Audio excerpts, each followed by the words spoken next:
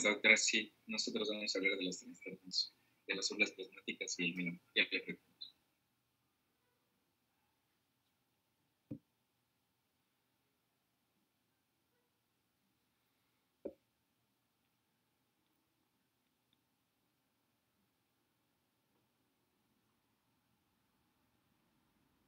Ya, muy bien. Eh, buenas tardes, doctor y compañeros. Como les había mencionado, hoy vamos a hablar sobre los trastornos de células plasmáticas y el, y el mieloma múltiple. Bueno, primero definimos qué es un trastorno de células plasmáticas. Este son básicamente neoplasias que se caracterizan por ser monoclonales, las cuales se encuentran ligadas a los progenitores comunes pertenecientes a la línea de los linfocitos B. Entre ellas se mencionaba un grupo como era el mieloma, el mieloma múltiple, también la macroglobulinemia de Warstrom, la amiloidosis primaria y enfermedades de las cadenas pesadas, las cuales van a conformar a este, a este trastorno de células y también podrían recibir otros nombres como eh, monoclonales o paraproteinemias.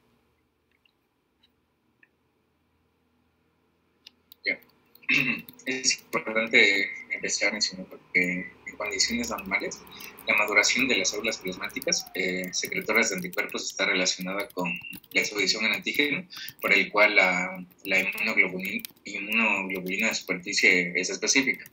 En este tipo de trastornos eh, se pierde dicho control a este proceso. Eh, las manifestaciones clínicas de todos los trastornos de las células plasmáticas están más bien relacionadas con la expansión de, las células neoplásicas, además de la secreción de productos celulares y cierto punto también tiene que ver con el estado del tumor. Además, mencionar que las moléculas de inmunoglobulinas que forman determinantes antígenos tienen tres categorías en caso de que existan variaciones estructurales. Como les he puesto en la diapositiva, una de ellas son los isotipos, las cuales distinguen las primeras clases de anticuerpos de una determinada especie y van a ser iguales para todos los individuos de, una especie en específico. El segundo tipo es eh, los que se denominan alotipos. Estos nos bien reflejan las las pequeñas diferencias que existen entre los individuos de la misma especie en secuencias de aminoácidos de, de las globulinas. Y por último, los idiotipos. Eh, este es el tercer, tercer determinante antigénico y son exclusivos para las moléculas elaboradas de un determinado clon de células productoras de anticuerpos. Mm, eh, aquí se menciona del análisis electroforético este análisis va a permitir separar los componentes de las proteínas séricas. Las inmunoglobulinas se van a desplazar de manera heterogénea en un campo eléctrico eh, y van a formar un pico, como se ve en las imágenes. Eh, algunos de ellos van a ser anchos en la región gamma, la cual suele aumentar en el suero de los pacientes afectados eh, por los tumores que ya que se crean. Aparecen también este, una región pico que se denomina el componente M. Para que esto sea detectable, se necesita una concentración mínima de anticuerpos entre 5 gramos eh, sobre litro. Además, eh, en muchos de estos pacientes, o en la gran parte, eh, se menciona que pueden, estas cadenas ligeras se van a excretar en la orina y van a, producir como proteínas de Bell que son importantes para, para su diagnóstico. Como vemos en las imágenes, este, en el recuadro del lado izquierdo se muestra un patrón normal de cómo se encontrarían las proteínas séricas en la electroforesis, mientras que en, el recuadro del medio más bien habla de cómo van a ser las enfermedades que se acompañan con inmunoglobulinas policlonales, en donde ya existe una espiga ancha y es un poco más prominente. Mientras que en la de la derecha ya vemos, eh, se denominaba espiga en torre de iglesia por um, el pico que tiene y ya ya se encuentra más bien, es como que una etapa como que más eh.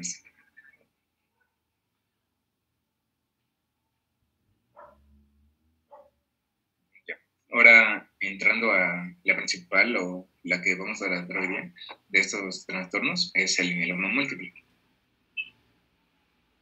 Ya, el mieloma múltiple constituye una proliferación maligna de las células plasmáticas, las cuales van a ser monoclonales. El tumor y sus productos y la respuesta del, hospedador, están, van a producir diversos eh, cambios o, trastornos eh, orgánicos y síntomas específicos, como por ejemplo que, bueno, ya lo mencionaré más adelante, pero gran parte de estos pacientes van a presentar dolores óseos y estos van a conllevar a un mayor riesgo de fracturas. También va a existir insuficiencia renal, predisposición a infecciones, anemia, este, hipercalcemia. Además que eh, van a existir trastornos de la coagulación y síntomas neurológicos. Es, además mencionar que pueden que va a existir hiperviscosidad y todos los síntomas que, que tienen que ver con la misma. ¿Cuál es la etiología? Este, desgraciadamente se desconoce cuál es la causa del mieloma, pero sí se ha visto que este tumor aparece con mayor frecuencia en aquellos individuos que han sido expuestos a la radiación. Es por ello que, que personas que han estado en la Segunda Guerra Mundial se ha visto una latencia 20 años después de la misma. También se, se ubica como un factor de riesgo a aquellas personas que, que son campesinos, carpinteros o quienes este, también trabajan con productos de petróleo. Eh, en este tipo de mieloma se han detectado diversas alteraciones cromosómicas, las cuales este, tienen que ver con delecciones, hiperdiplopía y, también con traslocaciones. se menciona que hay eh, grupos complejos de variantes exoclonales en el diagnóstico que adquieren mutaciones, por ello es un poco eh, complicado su diagnóstico. Como vemos en la imagen, existen aquí las células este, plasmáticas, las cuales eh, a simple vista parecen normales. Todas eh, o la gran parte de estas mm, monoclonales tienen un solo núcleo, pero, pero eh, se logra ver que algunas son malignas porque ya tienen varios de estos, de estos núcleos. Entonces, esto también es un hallazgo importante para, para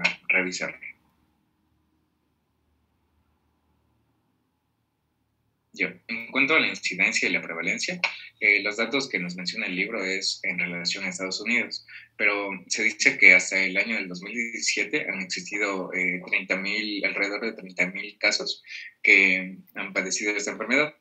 Eh, obviamente la incidencia del mieloma aumenta con la edad y la edad media del diagnóstico se ha visto que es de aproximadamente unos 69 años.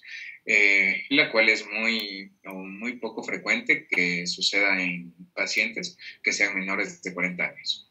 Eh, también tenemos una proporción que afecta más comúnmente a varones que a mujeres y también este, se encuentra más presente en personas de raza negra que en caucásicos.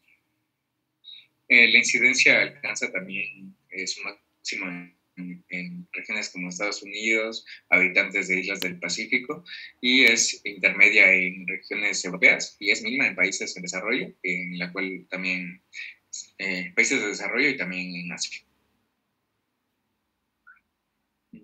¿En qué se basa la patogenia del mieloma? Bueno, básicamente las células del mieloma múltiple se unen o van a estar adheridas eh, a moléculas eh, de la superficie, también a las células del estroma de la médula ósea y a la matriz extracelular. Eh, esto va a incitar la proliferación de células del mieloma múltiple y su supervivencia, también su resistencia a fármacos y a la migración del entorno hacia la médula ósea. Existen también efectos causados por la unión directa eh, que tienen también que ver con las citocinas, entre ellas se menciona la interleuquina 6 y factores de crecimiento eh, similar a la insulina, el endotelial vascular y también eh, derivados de células del estroma. Eh, como vemos en la imagen, les mencionaba que las células del mieloma múltiple iban a interactuar de manera que se iban a adherir al estómago de la médula ósea y a las proteínas de la matriz extracelular. Esto es por medio de moléculas de adhesión.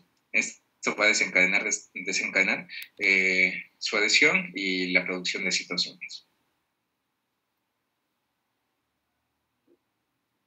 Ya. En cuanto a la clínica o qué es lo que generalmente va a presentar el paciente, eh, el síntoma más común, que está en la mayoría de los casos, incluso en un 70%, eh, se habla de dolores óseos.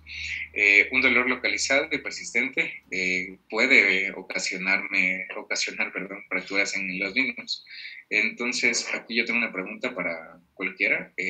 quisiera, si alguien sabe cómo se explicarían las lesiones óseas o cómo están involucradas con los pacientes que tienen mieloma múltiple?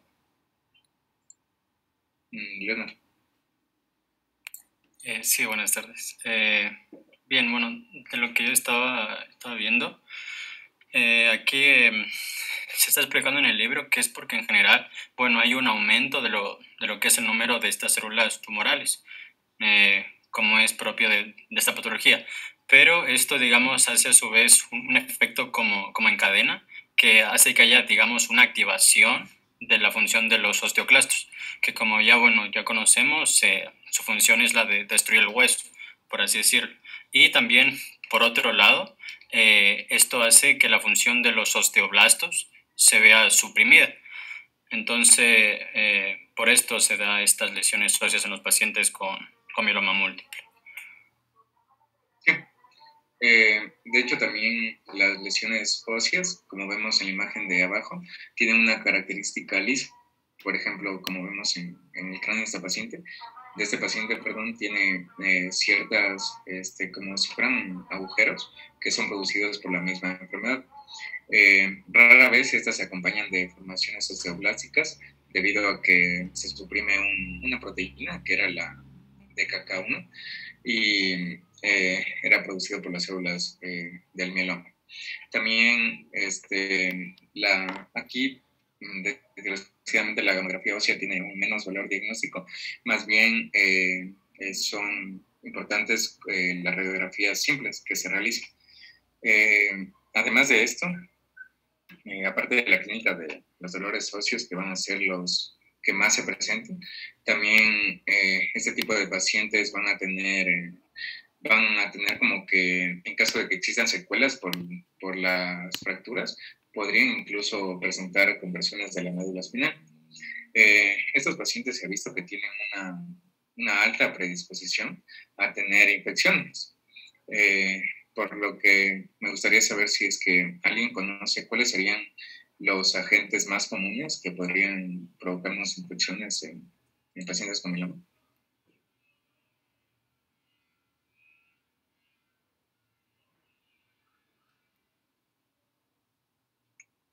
Si no levantan la mano, toca nombrarlos.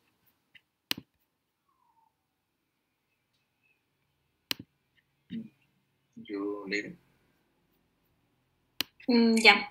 Bueno, este decía que, que, las más habituales iban a ser este, bueno, iban a ser los que causaban neumonía y también pielonefritis y los microorganismos patógenos más habituales iban a ser los Streptococcus pneumoniae, el aereus, la Klebsiella pneumoniae en los pulmones y también la Echerichia coli y bacterias gran negativas en el aparato urinario. Eh, junto a esto también el 75% de los sujetos que presentan este tipo de infecciones van a presentar como que un cuadro más grave en comparación a otros. También existen eh, factores que predisponen a infecciones, como que eh, estos pacientes por lo general tienen una hipogamaglobulinemia, eh, lo cual va a extraer el componente M, que les había mencionado en un inicio. otra de, otro hallazgo importante en la clínica de, de estos pacientes es que existe, este, como que tienen mayor tendencia a desarrollar insuficiencia renal ya que se menciona que hasta un 25% de estos pacientes eh, llegarán a tenerlo. Y me gustaría saber si nuevamente alguien sabe por qué se produciría esta, esta insuficiencia renal. Eh, mm, Bueno, este, básicamente, eh, ya lo había, ya lo, ya lo comentaste tú hace un momento, y también mi compañero Leonardo. Básicamente tenemos que que tener en claro que el mieloma múltiple en sí va a inducir una lisis celular indirecta por parte de los osteoclastos y esto de aquí pues nos va a conllevar a, una hipercalcemia. Entonces, eh, por, por, general, eh, la hipercalcemia es la causa más frecuente de una insuficiencia renal, ya que eh, nos puede producir, por ejemplo, focos de necrosis tubular, esto en las formas agudas y en formas crónicas que puede conllevarnos a una nefrocalcinosis o también a, generar litiasis eh, renal. De igual manera, eh, nos habías mencionado que existen producciones de, de ciertas eh, proteínas como inmunoglobulinas. También existen excesos de, de, proteínas de cadenas ligeras, principalmente, y también conllevan a, a, dañar el sistema tubular renal. Entonces, eh, eso de aquí básicamente creo que eh, es en sí lo que influye a, una, a originar una insuficiencia renal. Muchas gracias. sí, como mencionabas, está bastante relacionada con la hipercalcemia. Eh, además, eh, la primera manifestación de lesión tubular va a ser eh, representada por el síndrome de Falcón en el adulto. esto a, nivel tubular, la cual también mm, se relaciona con pérdidas urinarias de glucosa y aminoácidos. Entonces, aquí mm, se tiene un defecto en la capacidad del riñón para acidificar y concentrar la orina. Ya, continuando con la clínica, se sabe que eh, cerca del 80% de, este, de estos pacientes van a padecer una anemia normocítica normocrómica, perdón, eh, la cual es secundaria a la sustitución de la médula sana por células neoplásicas. Eh, también puede haber ligera hemólisis que, que contribuye también a la anemia. Este, un cierto porcentaje de pacientes tienen anemia megaloblástica, eh, por déficit de folatos o por déficit de vitamina 2, pero más bien eh, son como típica es normocítica normocrónica. Este, también las trombocitopenias, como las granulocitopenias, son eh, extremadamente raras, pero pueden darse. Y también existen alteraciones en anomalías de la coagulación debido a la interacción del componente M con factores de coagulación como el factor 1, el 2, el 5, el 7 e incluso el 8. Eh, también existen como que eh, pacientes que padezcan esta patología pueden tener riesgos de trombosis venosa profunda. Eh, también eh, casos como, como el fenómeno de Reino, de acuerdo al componente M. aparte de esto, en un inicio les mencionaba que los, la clínica del paciente tenía bastante que ver con la hiperviscosidad, ya que eh, esta podría manifestarse como cefalea, fatiga, el paciente podría presentar disnea o también este, la dificultad respiratoria, cardíaca, trastornos visuales, ataxia, eh, retinopatías. Incluso algunos pacientes podrían estar eh, somnolientos. las manifestaciones neurológicas en ellos tienen este, como que están son poco frecuentes, pero están en la minoría de, los pacientes. Eh, gran parte también de la, de la clínica del mieloma tiene que ver con las lesiones óseas, por lo que siempre tendremos que tener en cuenta en caso de que exista compresión medular, también de fracturas patológicas eh, y septicemia y la hipercalcemia que ya se mencionó. Mm, bueno, eso pasa. Esas son las preguntas que...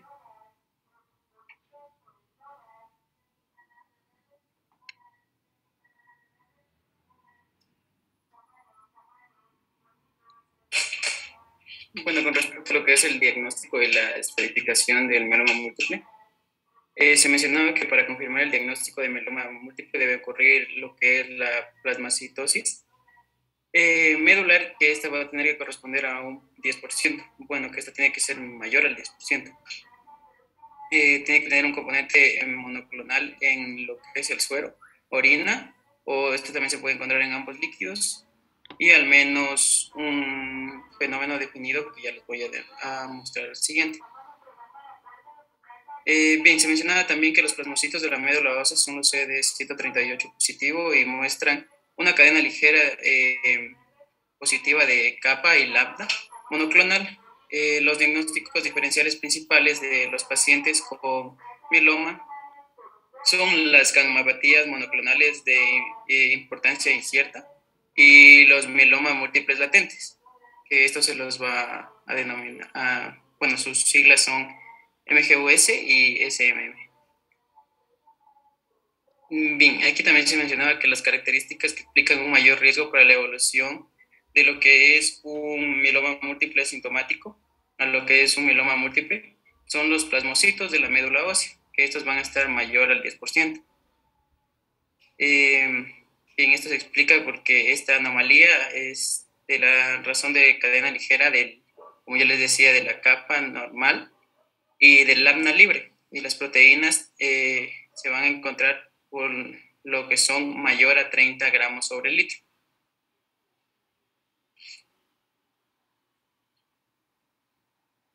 Bien, hay dos variantes importantes de lo que es el meloma, el plasmocitoma óseo solitario y el plasmocitoma extramedular.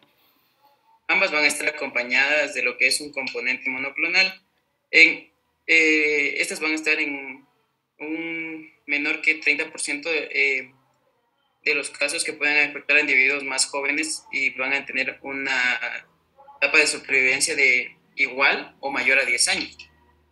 El, con respecto a lo que es el plasmocitoma eh, óseo, eh, solo, bueno, este solo es una lesión osteolítica única en el plasmocito medular.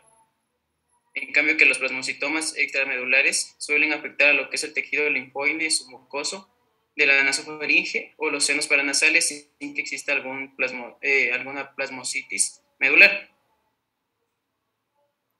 Bien, eh, cualquiera de estas dos opciones que se pueda dar de, de variantes son lo que es bastante sensibles a la radioterapia local.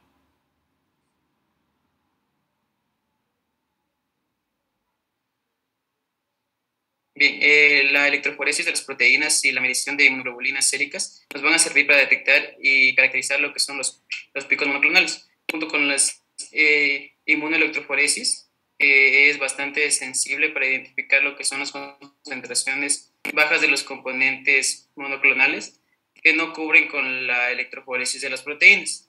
también es necesario realizar lo que es un análisis de la orina de, dentro de las 24 horas para medir lo que es la expresión de Ben Jones. La fosfatasa eh, alcalina sérica, eh, por lo general en esos pacientes suele presentarse como normal, a pesar de que tenga una extensa eh, afectación ósea. Esto se puede presentar debido a que va a existir una falta de actividad osteoblástica. También es importante cuantificar lo que son las microglobulinas y la albumina B2 sérica. Eh, también se tiene que tener en cuenta lo que es el componente del suero monoclonal eh, de las inmunoglobulinas G, que se va a dar en un 53% de los casos, de las inmunoglobulinas A, que se va a dar en un 25% de los casos, y de las inmunoglobulinas D, que este se da en un 1% de los casos. Mm, mientras que en el otro 20% de los pacientes restantes vamos a tener lo que son cadenas ligeras en el suelo y la orina.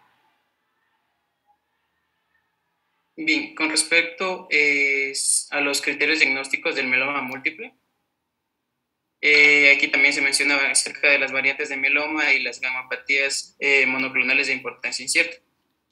En cuanto a las gamapatías monoclonales de importancia incierta, sus criterios diagnósticos van a ser que las proteínas M en el suero van a ser de, no son de tipo inmunoglobulinas G y estas van a estar menor a lo que son 30 gramos sobre litro. También las células plasmáticas clonales en la médula ósea se van a encontrar menor a lo que son el 10% y vamos a tener una ausencia de los fenómenos definidos o mielomas eh, o también de la amiloidosis. Mientras que eh, en el meloma múltiple de evolución lenta también conocido como mieloma asintomático, vamos a encontrar lo que son proteínas monoclonales séricas, tanto inmunoglobulinas G y inmunoglobulinas A, mayores a 30 gramos sobre litro, proteínas monoclonales urinarias mayores a 500 miligramos después de 24 horas. Eh, estas se encuentran en del 10 al 60% de células plasmáticas clonales en la médula ósea. También aquí podemos encontrar lo que es una ausencia de los fenómenos eh, definitorios del mieloma, o amiloidosis.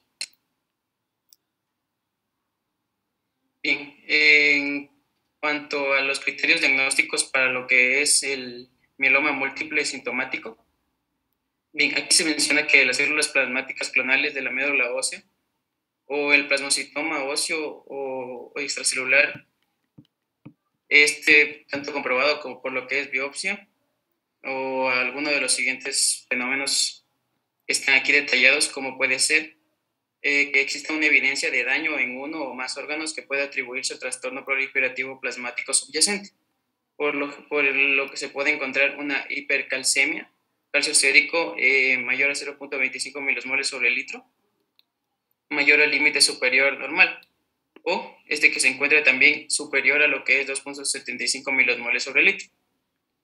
También va a haber lo que es una insuficiencia renal, es una de, eh, vamos a encontrar una depuración de creatinina menor a 40 mililitros sobre minuto, o una creatinina sérica mayor a 177 milosmoles sobre litro. Adrián, eh, tenemos un momento que se va a habilitar el control de lectura. Pueden prender las cámaras.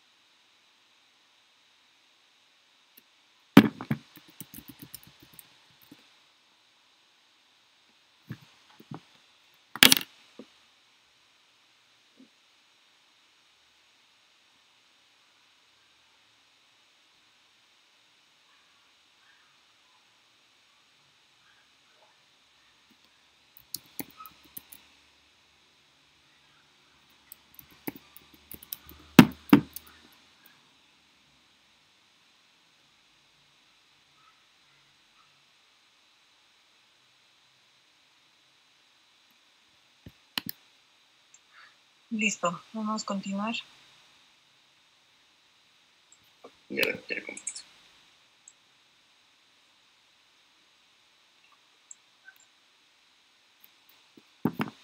Bien, continuando con los criterios de diagnóstico, continuando con los criterios de diagnóstico para el mieloma múltiple, eh, también vamos a encontrar lo que son las lesiones óseas, que es una o más lesiones eh, osteolíticas que se van a encontrar en lo que es la radiografía esquelética, tanto por tomografía, por emisión de positrones.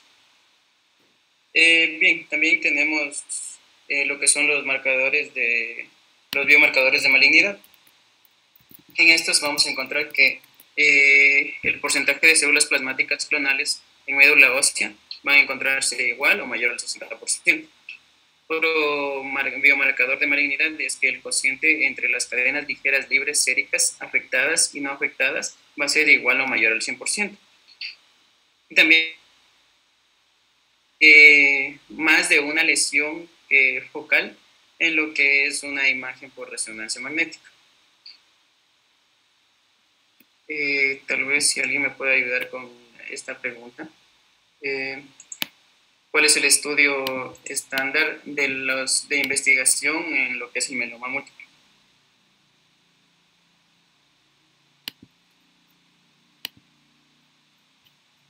Victoria. Ya, en el mieloma múltiple eh, nos recomendaba que se debían hacer diversas investigaciones. Por ejemplo, algunas de ellas eran eh, se había que analizar las células plasmáticas clonales. Por ejemplo, esto se podía hacer a través de un aspirado de la médula o una biopsia de la médula ósea. También se podían realizar investigaciones para valorar la proteína clonal, que esto se realizaba a través de una electroforesis o inmunofijación de proteínas séricas y también se debía valorar el daño orgánico y también se debían realizar investigaciones para estratificar el riesgo. Bien, gracias. Bien, eh, complementando lo que dijo Victoria, eh, bien, aquí se tiene que desarrollar lo que es un estudio estratificado enfocado en la detección de células plasmáticas monoclonales y fenómenos eh, definitorios de lo que es el meloma múltiple. Esto también nos puede ayudar a realizar el pronóstico del paciente.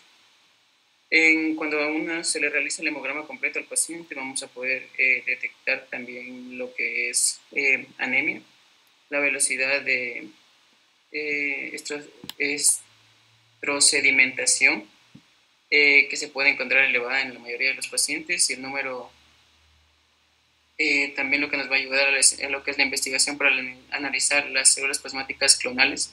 Como ya lo dijo mi compañera, es un aspirado o biopsia de la médula ósea, que aquí se va a investigar lo que es la histología y la clonalidad por inmunotinción, citometría de flujo o inmunohistoquímica. También vamos a realizar investigaciones para la valoración de la paraproteína clonal que es lo que es la electroporesis e inmunofijación de las proteínas séricas. También vamos a tener valores cuantitativos de inmunoglobulinas séricas, tanto de las inmunoglobulinas G, inmunoglobulinas A y las inmunoglobulinas M. Se realiza electroporesis e inmunofijación de las proteínas en orina, también que es la prueba de luego de 24 horas, cantidad y consciente de las cadenas libres fijas en suero, inmunofijación para la inmunoglobulina D y e. Eh, esta se puede realizar en algunos casos, ya que eh, su incidencia es bien baja, eh, alrededor del 1%. Se puede realizar lo que es la investigación para valorar el daño orgánico en las personas con una biometría hemática en busca de anemia, panel químico para valorar la función renal y el calcio. El paciente examen esquelético para valorar lesiones óseas. Se puede realizar lo que es una tomografía por emisión de positrones o una imagen por resonancia magnética si es que se llegara a encontrar un mieloma múltiple asintomático o plasmocitoma único. Eh, también se puede realizar la investigación para la estratificación del riesgo. Esto se le realiza con la microglobulina B2 y albumina sérica para determinar eh, lo que es el, el, pronóstico del paciente. La hibridación eh, fluorescencia in situ para... Esto se utiliza para la hiperdiploidía que esto se puede estar afectado en lo que son eh, los cromosomas del 17P, T414 y T1416. Eh, también se mencionaba que se puede encontrar en el del 13, pero que esto se puede dar en menor proporción. Todo esto de la muestra medular. También podemos investigar lo que es el LDH. Y la investigación en, lo que son casos seleccionados. Estos son cuando solo en cierto tipo de pacientes que se puede hacer un cogimiento adiposo eh, abdominal para identificar eh, para identificación del amiloide y también lo que es la viscosidad sérica para ver si hay algún componente en lo que es la inmunoglobulina M.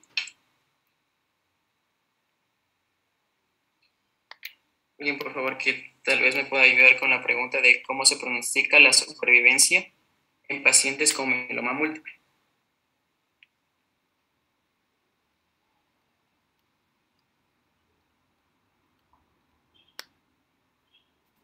Kevin. Eh, bueno, con respecto a lo que es uh, el pronóstico de la supervivencia de, con un paciente con mieloma múltiple, eh, el factor de predicción más eh, útil en este caso es la beta-2 microglobulina sérica. esta en conjunto con lo que es la albúmina van a ayudar a, a, la estratificación de, sobre todo de los de, de estos pacientes y los va a clasificar en lo que son tres estadios. Por ejemplo, en el estadio 1 eh, tiene una mediana de supervivencia de 62 meses y los valores de lo que es la, concentración sérica de beta 2 microglobulina está eh, inferior a 3.5, mientras que la albúmina va a ser mayor de 3.5. El estadio 2, eh, la concentración de beta 2 microglobulina va a ser este, de igual forma menor de 3.5, pero la, eh, puede ser menor de 3.5 o igual a 3.5 o 5.5. Y lo que es albúmina, esta puede ser menor de 3.5. Eh, esta tiene una mediana de supervivencia, sobre todo en 44 meses. Y por último, el estadio 3, esta, en esta solo se va a emplear lo que es la, la, la beta 2 microglobulina y va a ser mayor a 5.5, en la cual eh, aquí va a haber una, una supervivencia menor, sobre todo porque hay 29 meses.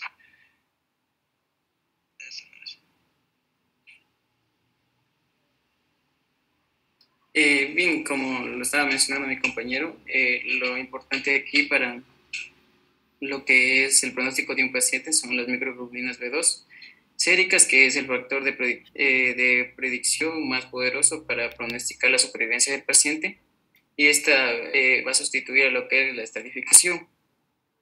Eh, la combinación de las concentraciones séricas de la microglobulina B2 y la albumina van a constituir lo que es la base del llamado Sistema Internacional de Estadificación, que este nos va a proporcionar que son tres estadios, como ya lo mencionó mi compañero.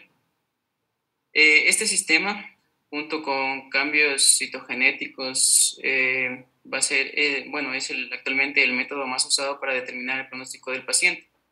la identificación también de lo que es el perfil de micromatrices con, va, nos ayudó a lo que es la confirmación de la base de sistemas de estadificación pronóstica basada en lo que es el RNA y también los esfuerzos, eh, los esfuerzos que se realizan para la secuenciación del genoma, eh, del genoma de este, eh, de este meloma, nos ha permitido realizar lo que es la caracterización de los genes, de los genes, perdón.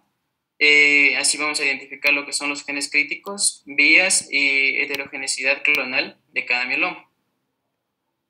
Eh, como ya lo había mencionado, existen tres estadios. Eh, cada uno de ellos va a tener eh, características en cuanto a los niveles de microglobulina B2 y también conjuntamente con albumina. Y esto nos va a determinar la, la medida de los meses de supervivencia que puede darnos a nuestro paciente. Bien, y por último, en cuanto al tratamiento del mieloma múltiple, Bien, aquí se, me, aquí se decía que eh, no se encuentra indicada la intervención específica en sujetos que posean una gamapatía monoclonal de importancia incierta. Eh, estas, sin embargo, se tienen que hacer lo que son las visitas de vigilancia, que se pueden realizar una vez al año, eh, excepto en pacientes que padezcan de gamapatía monoclonal de importancia incierta de, de mayor riesgo. En este caso, se puede, este se tiene que repetir cada cada seis meses, lo que es la electroforesis de proteínas séricas, la biometría hemática, la medición de creatinina y calcio en el paciente. El individuo que con gamapatía monoclonal de importancia incierta y polineuropatía grave se considera como elegible, elegible para lo que es la intervención terapéutica. Eh, si se puede si se puede, por ejemplo, en este caso, suponer que existe una relación causal entre estas dos en caso de no haber otra, algún otro tipo de causa para la, la neuropatía. El tratamiento eh, va a incluir lo que es la plasmaféresis y también a veces eh, van a utilizar lo que es el rituximab en pacientes con gamapatía monoclonal de importancia incierta eh, por, lo, por inmunoglobulinas M. O el tratamiento similar a lo que es el meloma en los que tienen la enfermedad, en la enfermedad por inmunoglobulinas G e inmunoglobulinas A. Eh, se menciona que en promedio el 10% de las personas con mieloma eh, va a encontrarse asintomático. Y estos van a mostrar una evolución indolente, es decir, que no van a mostrar ningún tipo de dolor ni síntomas que le lleven a este criterio de diagnóstico. Y su progresión de la enfermedad va a ser bastante lenta es decir, que va a transcurrir durante varios años. En este tipo de pacientes no se encuentra indicada la que es una intervención terapéutica. El tratamiento inmediato eh, eh, se lo realiza con lo que es lenalidomina y dexametasona, que puede evitar lo que es la progresión de un mieloma múltiple asintomático de alto riesgo. Las personas con mieloma múltiple asintomático solo necesitan un tratamiento antineoplásico eh, cuando se identifica eventos característicos. Eh, también eh, ciertos pacientes con plasmocitomas óseos únicos y plasmocitomas extramedulares pueden sobrevivir a la enfermedad de forma asintomática sin presentar ningún tipo de síntomas durante un tiempo bastante prolongado que pueden ser años eh, después de lo que es radioterapia a unas, 12, a unas dosis de 40 gray. Alguien que me pueda ayudar tal vez con la pregunta de cuál es el propósito eh, del tratamiento para el mieloma múltiple. Existen dos.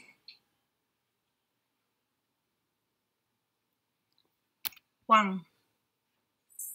Mm, ya, eh, bueno, como ya mencionaste, existían dos propósitos. Uno era el ayudar a controlar la progresión del mieloma y el otro se, centra, eh, se centraba en controlar la sintomatología de la enfermedad, las complicaciones y también los efectos adversos que pudiera tener el tratamiento. Exactamente, esos son los dos eh, propósitos que tiene el tratamiento, el, el tratamiento contra el mieloma múltiple. Bien, el, Bien, el, con, una vez que se inicia el tratamiento, este incluye un régimen de inducción inicial al tratamiento. Eh, seguidamente vamos a entrar a lo que es una fase de consolidación y luego en una fase de mantenimiento. La evolución posterior se inicia con, bueno, se va a iniciar de acuerdo a las medidas de recidiva de la enfermedad en el paciente. Bien, en este cuadro se eh, se especifican ciertos fármacos que se pueden utilizar para, eh, como tratamiento farmacéutico para el mieloma múltiple.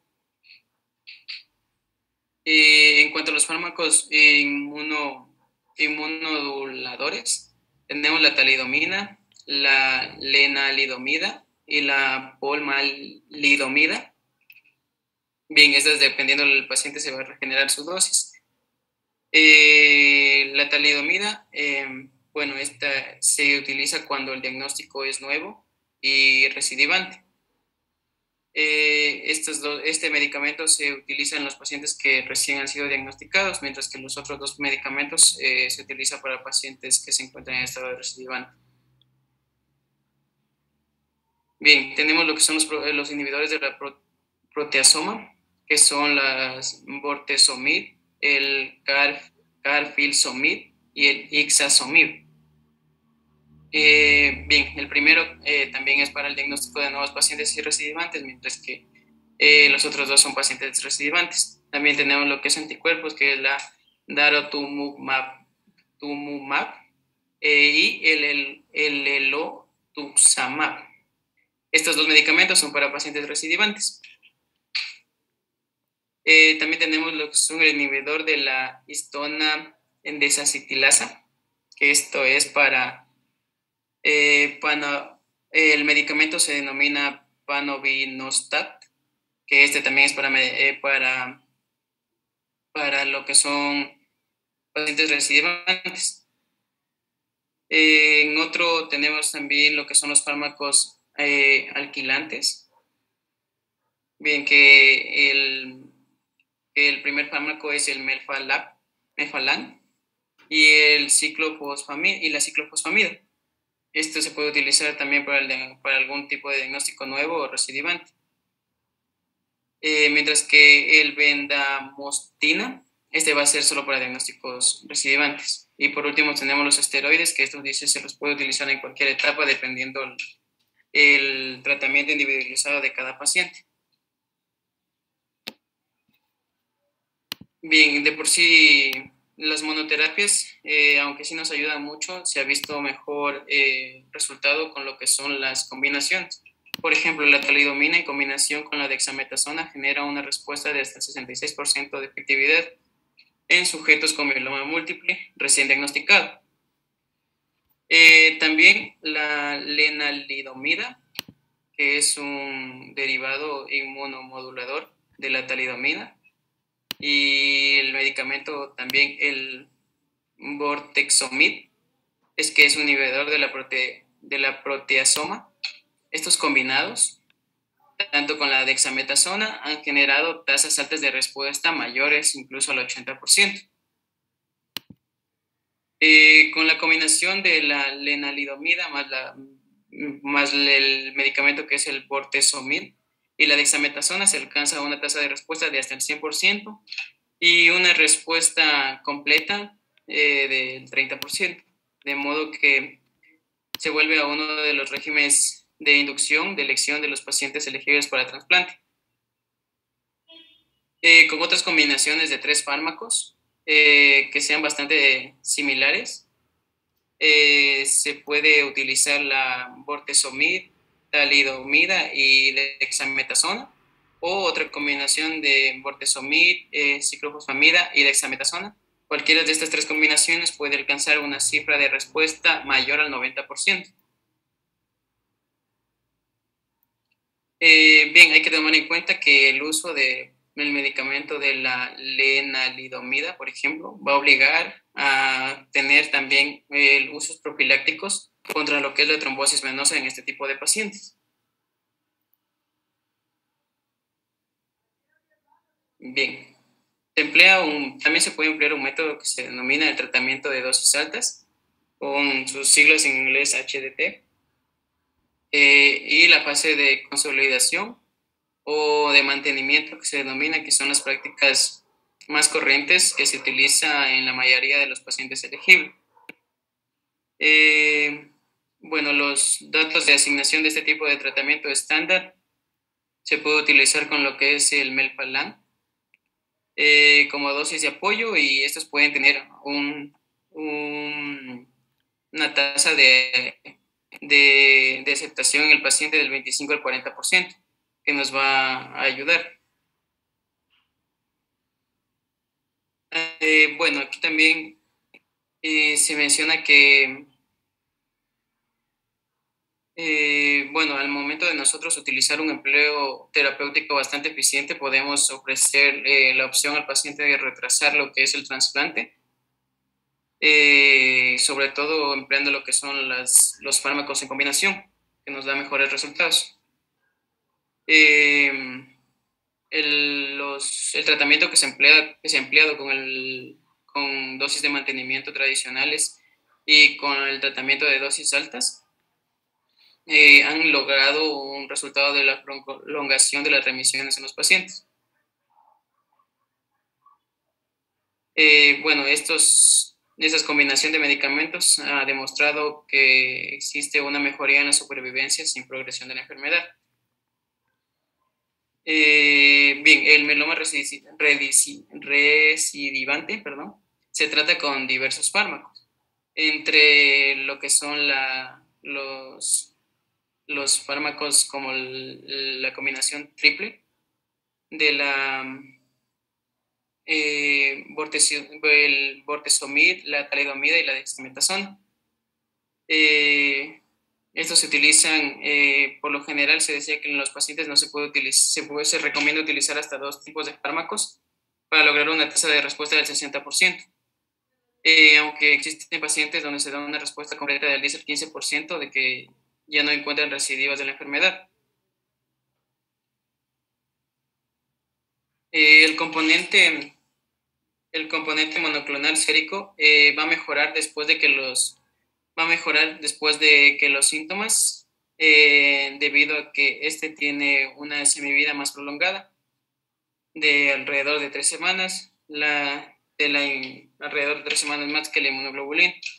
Eh, su descenso eh, va a depender de la velocidad que se aniquile el tumor y de la velocidad que se, la velocidad catabólica que tenga para fraccionar lo que es la inmunoglobulina.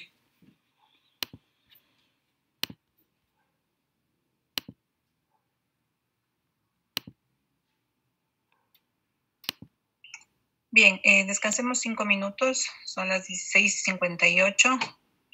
A las 17 y 3 minutos empezamos el caso clínico.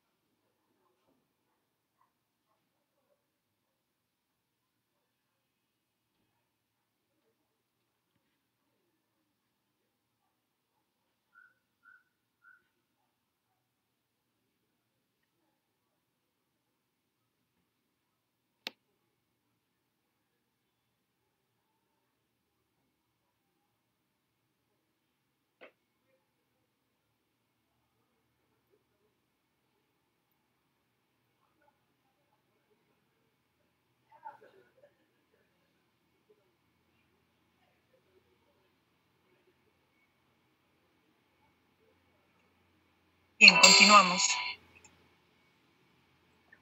Ya, muy bien.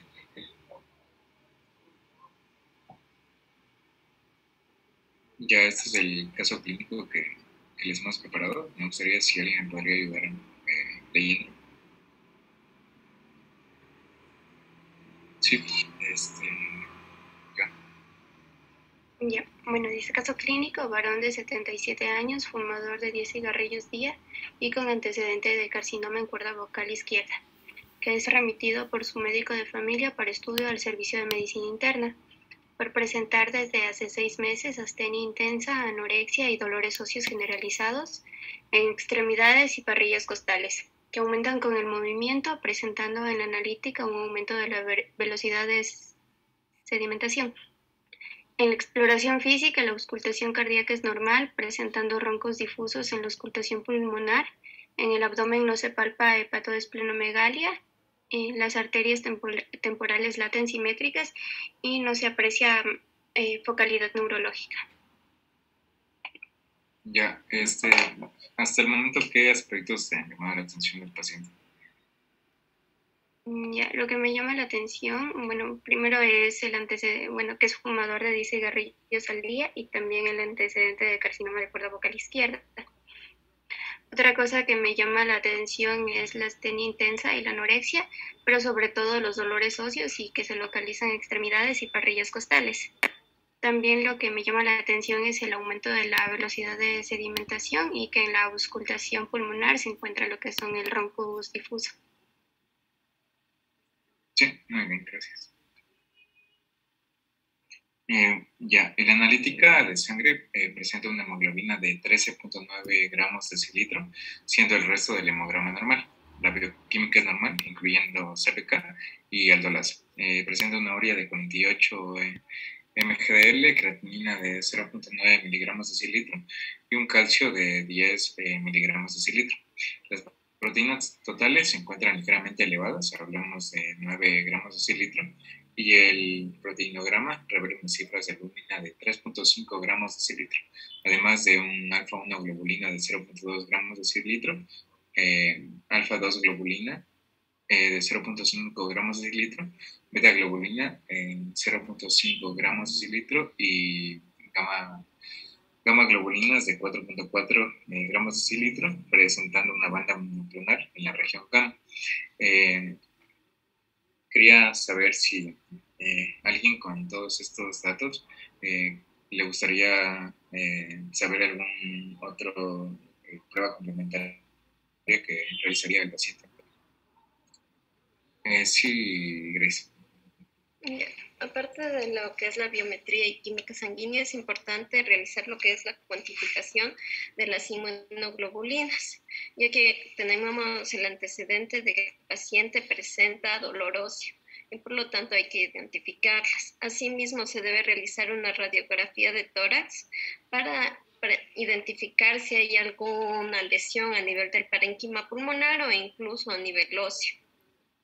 También es importante realizar lo que es una muestra de orina de 24 horas que permite identificar lo que es la excreción de proteínas de Benz-Jones o a su vez a un futuro de acuerdo a estos resultados se podría realizar ya lo que viene a ser una aspiración o tal vez una biopsia para identificar si hay presencia de células plasmáticas. Sí, eh, muy bien. Le cambias la diapositiva. Ya, a propósito con lo que dijo Grace, eh, estos son como los resultados que se obtuvieron. Se le realizó eh, proteínas en orina en 24 horas, las cuales son 2.550 miligramos. La cuantificación de las inmunoglobulinas muestra una IgA de 5.070 miligramos de cilitro, la cual está elevada. También existe un descenso de IgG, eh, la cual se re- eh, representa 366 miligramos de cilitro, e IgM 29 miligramos de cilitro. Eh, se ha visto también proteinuria de Baines-Jones, la cual ha sido positiva y se identifica en orina inmunoglobulinas de tipo A junto con cadenas ligeras. Eh, mm, Grace mencionaba que también era necesario realizar una radiografía de tórax. Eh, bueno, en esta se aprecia un aumento bilateral de los cilios pulmonares y ecografía abdominal. Esta no muestra imágenes patológicas. Se le realizó una serie eh, ósea radiológica mostrando múltiples imágenes líticas a nivel del cráneo, huesos largos, costillas y clavículas. Eh, finalmente se le realizó una biopsia de médula ósea en la que se apreciaban acúmulos de células linfoides y amplios grumos.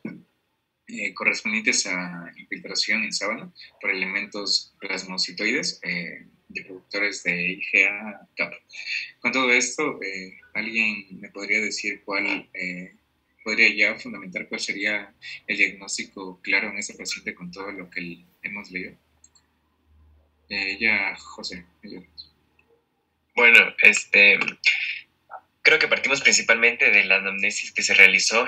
Eh, se, se, evidencia, como se mencionaba en la clase, que uno de los síntomas más frecuentes del, del mieloma múltiple eran los dolores óseos y en este paciente pues se mencionaba que tiene estos dolores acompañados de la astenia y otras, este, otra sintomatología. No obstante, creo que el antecedente de las cuerdas vocales del carcinoma es de mucha importancia.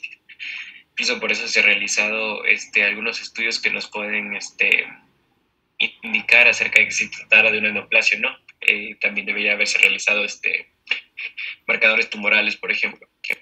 Eh, muy aparte de todo eso, eh, la, la, biometría hemática se presentaba con hemoglobina, que aunque no era muy marcada, creo que era del 13 miligramos por decilitro, pues es una hemoglobina considerando que es un paciente masculino y también se presentaba en el, en el, en el diagnóstico de mieloma múltiple. Ahora ya eh, para fundamentar nuestro, de una mejor manera el diagnóstico, pues están los, los exámenes este, eh, de laboratorio, de imagen, y principalmente resalta, por ejemplo, el valor que está extremadamente alto de las inmunoglobulinas tipo A, 5070 miligramos por decilitro. La proteinuria de 24 horas de igual manera está súper elevada a 2550 eh, se mencionó también durante la clase que en esta patología, por ejemplo, la, el 50% me parece que era de pacientes presentaban Ben Jones positiva. Y de por sí también algo que especifica mucho el diagnóstico es la inmunoglobulinas por las cadenas ligeras este, capa que son analizadas en orina. Eh, las lesiones líticas también en estos pacientes pues son muy frecuentes. Se realizó la, la, la, radiología que se presenta y se muestran lesiones tanto a nivel de costillas, clavículas, cráneo, huesos largos. Y ya para confirmar definitivamente, sumado todos los criterios que se mencionaron en la clase, también están los plasmocitoides, los plasmocitomas este, que se evidenciaron en esta biopsia. Y como se observa, pues son productores de IgA y a eso se atribuye el nivel elevado de las inmunoglobulinas tipo IgA. Entonces, se trataría de un mieloma múltiple productor de IgA o tipo IgA.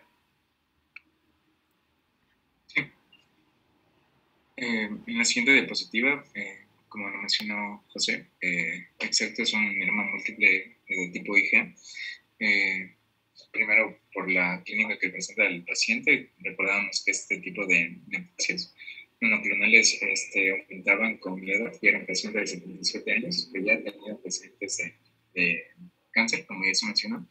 Eh, la clínica importantísimo, el principal manifestación que iban a presentar, como mencionó José, los dolores óseos, también la analítica muestra una anemia nemocrómica, eh, la cual era era común en este tipo de pacientes. Además que este, tenía una hipercalcemia y datos como una proteinuria de Ben Jones o los eh, hallazgos encontrados en la biopsia nos daría como resultado, en fin, un mieloma múltiple eh, productor de IgA. Y también eh, una última pregunta, quisiera saber si alguien sabría qué tratamientos se le podría dar a este paciente.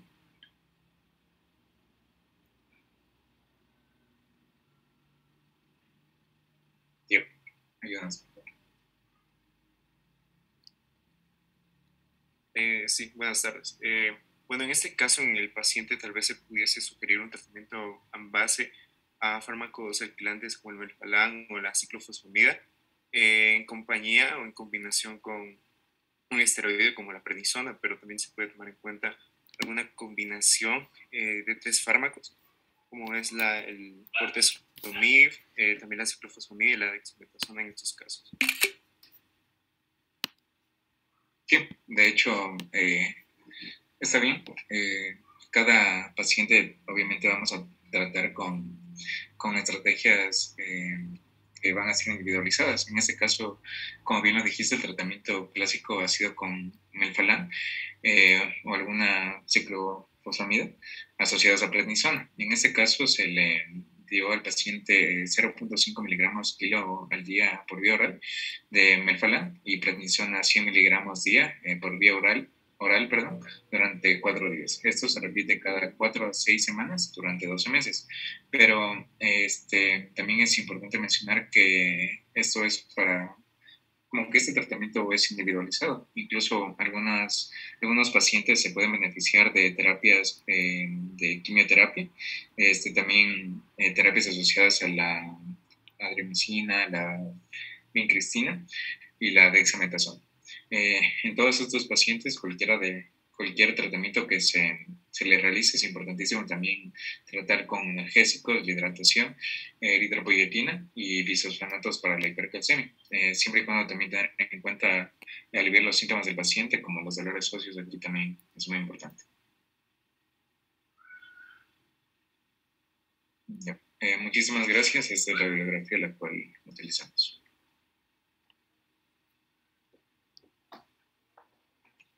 Ok, eh, gracias a los compañeros por la presentación. No sé si de parte del resto de compañeros existe alguna pregunta.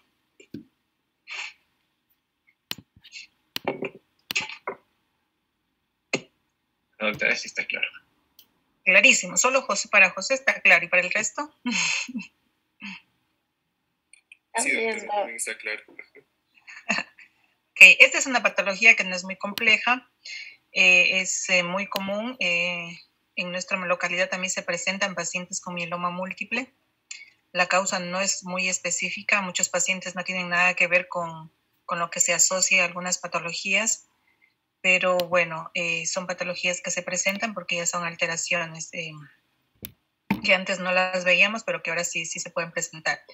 Y es una patología muy característica ya que presenta el dolor óseo. Como vimos, las células que eh, estas células del mieloma van a infiltrar lo que es médula, provocarían anemia y también eh, estas van a activar los osteoclastos. Como saben ustedes, los osteoclastos eh, destruyen los huesos que ya están, que ya están en, que cumplieron su vida útil y también inhiben a los osteoblastos. Entonces, por esta razón no se puede generar un hueso nuevo. Por esa razón se libera el calcio y también se pueden provocar las fracturas patológicas en estos pacientes también por la hipercalcemia, por la liberación de estas proteínas, podrían provocar también lo que es una insuficiencia renal. Y como existe una hipogammaglobulinemia, o sea, las inmunoglobulinas como se forma una sola y de las otras que se forman también serían destruidas, eh, podrían estar eh, expuestas para que se presente algún tipo de germen.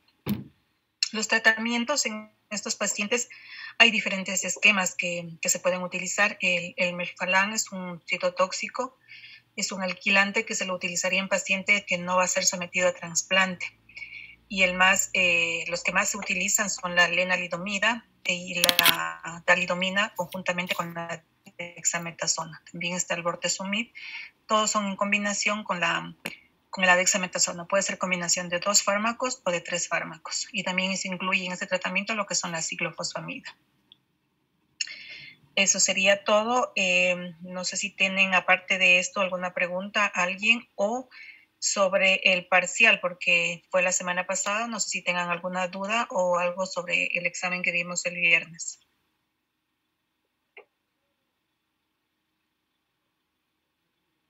¿No? No. No. no a los fantasmas que están al otro lado. No, doctora, no. Estuvo, fácil. Demasiado fácil, creo. Ya les pongo, por poco les pongo el concepto ahí. ok, bien. Entonces, para la siguiente clase, dejamos ya de lado lo que son los linfocitos y nos vamos a las plaquetas, ¿sí? Vamos a ver lo que son los, los, trastornos de las plaquetas y la pared vascular para la siguiente semana y está para esa clase Darío, Victoria y Milena. Ya les subí igual un anuncio es todo el capítulo, igual preparan un caso clínico de cualquiera de las patologías que, que se ven ahí. Igual eh, hacer lo posible en sacar un resumen específico de cada patología para la presentación y un caso clínico. Eh, eso sería todo. Creería que no hay nada más. Eh, falta solamente un trabajo de un caso clínico, pero esto se va a hacer de hemofilia, pero la, en la última clase, en la penúltima sería. ¿Sí? Nos vemos la próxima semana si es que no tienen preguntas. Gracias, gracias. Gracias, gracias. gracias. Hasta luego.